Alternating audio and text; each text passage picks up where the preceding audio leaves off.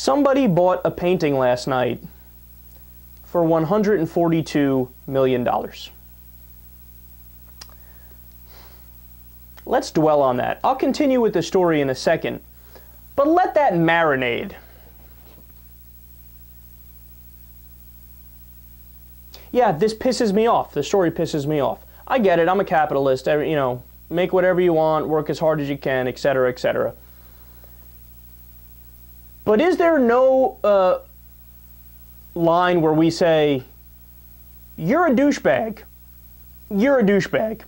Let me give you more information. It's, it's an Irish born British painter, whatever that means. There's a lot of different things there, uh, named Francis Bacon.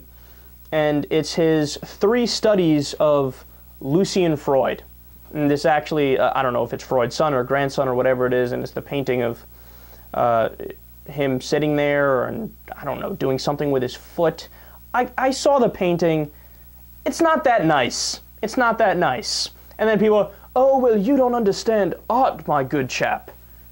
I don't need to understand art to know that that is $142 million completely wasted. So this is a record for the most expensive painting sale ever. But what I want to discuss is number one, we again we know it's insane, so we don't need to dwell any further on that. Not to mention people are dying and starving with no health care and the record levels of income inequality and how can somebody be such a heartless bastard to waste their money on this. But uh, Business Insider, which is where I read about this, which is actually an awesome publication, they do a great job. But the writer of this article is a guy by the name of Rob Wile. He defended this. He said uh, the mechanics of the art would suggest that the amount is justified or justifiable.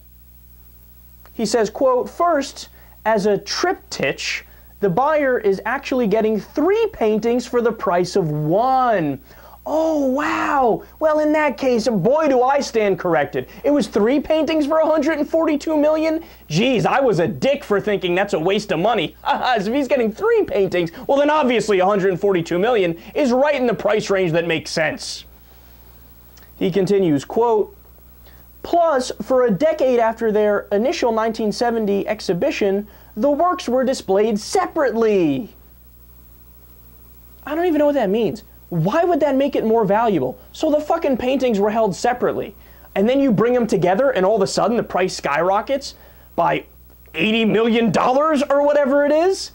Is this really how fickle people are?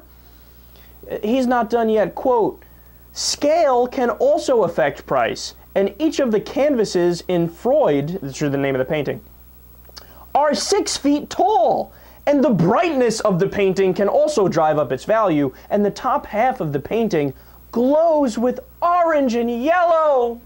Oh, it's glorious! Oh, glorious! The dude just argued the painting is worth $142 million because it's colorful.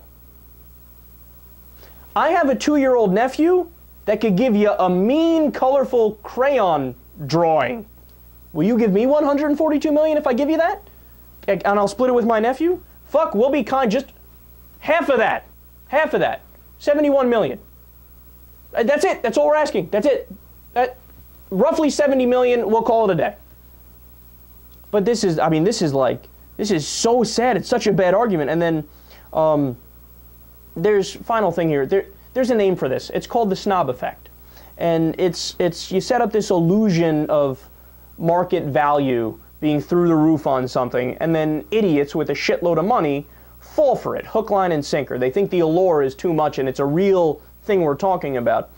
And it's like uh, with wine tasting, for example. A lot of people are, uh, you know, wine experts, so to speak, and uh, they say, "Well, this one's inferior and this one's superior." Meanwhile, when you actually do taste tests, you know which wine has won uh, consistently the cheapest wines win. Yeah. Here's my response to this segment tax the rich just a little bit more. Not a lot more, just a little bit more. I think they can afford it.